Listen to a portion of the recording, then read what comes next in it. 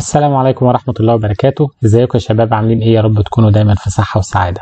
في الفيديو بتاع النهاردة هوريكم tool بستخدمها أي وقت بكون بعمل فيه budget أو time series forecasting وال tool دي هي ال forecast built in function الموجودة في ال Power BI في برضه similar tool ليها موجودة في ال Excel لل forecasting بس إحنا النهاردة هنتكلم عن ال Power BI وممكن بعد كده نبقى نعمل فيديو عن ال forecasting بال Excel أنا هنا عندي dummy sales data للشهور من أول Jan 2020 لحد June 21 وعندي هنا ال figures بتاعت ال sales وهي simple random formula بتديني رقم من 100000 ل 150000 خلينا نفتح Power BI.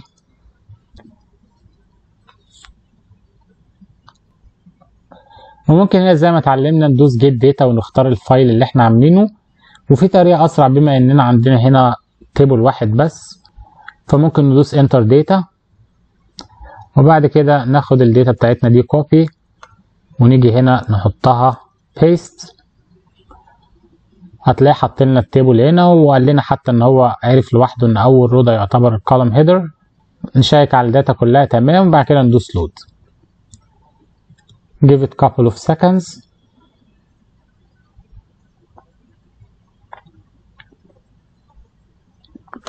تمام دلوقتي ال table ظهر عندنا.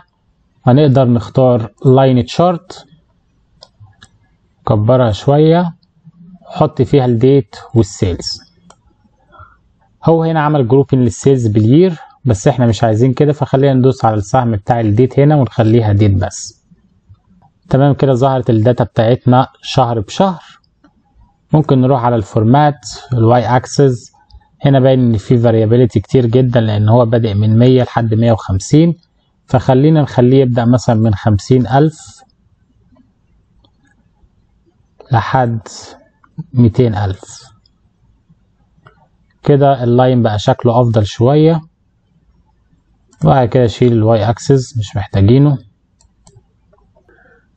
لحد دلوقتي إحنا عندنا ال actual data لحد June 21 فخلينا نقول إن إحنا مثلا عايزين نعمل forecast لحد آخر السنة. عايزين نشوف ال performance بتاعنا هيبقى عامل إزاي لحد آخر 2021 علشان نعمل كده بنروح هنا على ال analytics وبعد كده ننزل على ال forecast هنا وندوس add قبل ما ندخل في الموضوع ده عايز أعرفكم إزاي ال Power BI بيعمل forecast وال Power BI هنا بيستخدم حاجة اسمها اكسبوننشال سموذنج وال Power BI هنا بيستخدم حاجة اسمها exponential smoothing لو حد دارس statistics أو familiar بالموضوع ده فده أحد الأساليب اللي بتستخدم في ال time series analysis واللي أنت محتاج تعرفه عن الاكسبوننشال سموذنج أو الفرق حتى بينه وبين ال moving average العادي إن ال simple moving average بيدي نفس ال weight لكل ال historical periods اللي عدت قبل كده.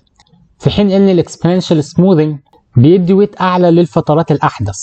يعني مثلا هو بيعمل forecast هنا هيدي weight أكتر لأقرب شهور من ال weight اللي هيديه للشهور القديمة قوي لو أنت مثلا عندك data هنا بتاعت 10 سنين فهو ممكن يتجاهل الترند اللي كان بيحصل في أول سنة أو أو سنتين في حين إنه يدي weight أكتر للترند اللي حصل في الفترة الأخيرة. ده مع الأخذ في الاعتبار برضو إن هو بياخد في اعتباره ال seasonality وعلشان كده دي أحد ال inputs اللي موجودة في الموديل.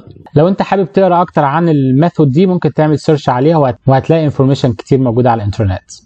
خلينا نبدأ ال forecasting بتاعنا وزي ما قلت لكم أول حاجة هنا هو بيسألنا انت عايز period قد إيه تعمل لها forecast فاحنا هنا عايزين نعمل forecast لحد ديسمبر 21 فخلينا نقول هنا إن ال points بتاعتنا هي ال months والعدد 6 وندوس الأول apply تمام هو هنا عمل forecasting بس لو تلاحظوا إن هو straight line وده علشان إحنا لسه ما حطيناش في اعتبارنا ال seasonality so far وال seasonality هنا هو بيسألك أنت عايز تاخد ال seasonality بتاعت فترة قد إيه في الماضي. فالطبيعي إن أنت بتحاول تاخد full operational cycle عندك عشان تبقى خدت كل ال ups and down يعني لو أنت مثلا الشغل بتاعك في ال e-commerce أو في ال retail أو في ال sales فأنت تبقى عايز مثلا تاخد سنة كاملة علشان كل ال seasons اللي موجودة عندك تبقى أنت خدتها في حسبانك. فإحنا هنا بما إن إحنا عندنا شهور فنقدر نقول إن إحنا عايزين ناخد مثلا 12 points فتدوس 12 وبعد كده تدوس apply فتلاقي عندك إن ال data بدأ يظهر لها ترند واضح. بعد كده عندنا ال confidence interval وده برضو مصطلح في ال statistics لو حد مش familiar بالمصطلح ده فده معناه إن هو بيسألك أنت عايز تبقى confident قد إيه في ال range اللي هو مديهولك. يعني إحنا لو بصينا على أي point هنا مثلا ال point دي بتاعت July هو بيقول لك إن ال forecast هنا هيبقى 111000 ال upper bound بتاعه 132000 وال lower bound 87000 أو بمعنى آخر هو بيقول لك إن في July ال revenue بتاعك هيتراوح ما بين 87306 و 135206 ال confidence interval هنا بتقول إن إحنا لو جربنا نفس الموديل ده على different sample data 95% من المرات الرقم هيطلع في ال range ده. وبالتالي أنت لو عايز تبقى confident أكتر في ال forecast بتاعتك ممكن ترفعها مثلا ل 99% بس لو دوست مثلا 99 ودوست apply هتلاحظ هنا إن ال range بتاعك زاد. وده منطقي لأن أنت دلوقتي بتقول له أنا عايز أنا عايز إن الرقم يطلع بره ال range 1% بس من المرات. وبالتالي هنا هتلاقي إن ال lower bound بتاعك بقى 79000 بدل 83000 وال upper bound بقى 142000 بدل 135000 ونفس الكلام لو أنت قللت ال confidence interval لو قلت مثلا إن أنا عايز أبقى confident 75% بس وعملت apply هتلاقي إن ال range بتاعك قل. خلينا نسيبها على 95% نرجع نعمل apply تاني. وبعد كده عندنا حاجة اسمها ignore last ignore last دي بتسمح لك إن أنت تتجاهل آخر عدد معين من ال points يعني مثلا هنا لو أنا قلت له ignore last 4 months. ودوست apply هتلاقيه بدأ ال forecast من أول فبراير اللي إحنا already عندنا actual data ليها. ودي أنت ممكن تستخدمها عشان تشوف قد إيه الموديل قريب في ال forecast بتاعه.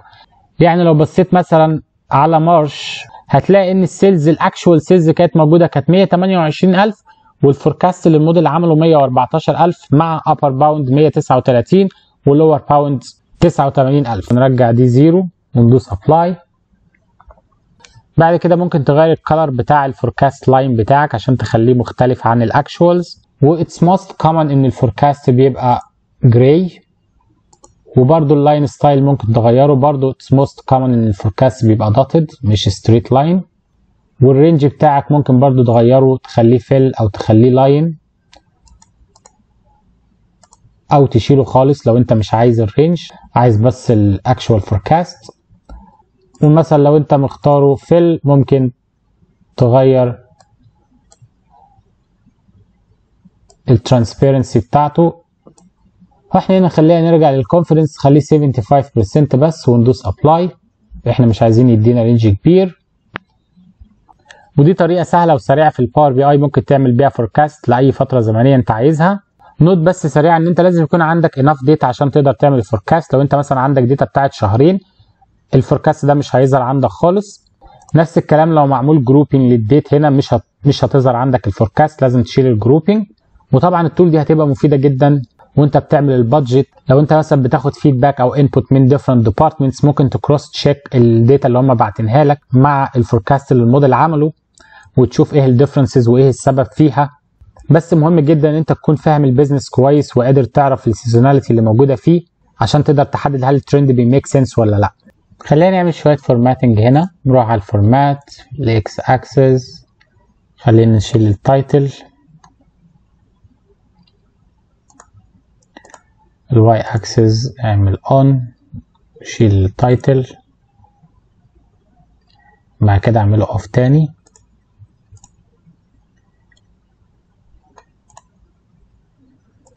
ممكن تغير ال color لو عايز. تقدر تحط ال data label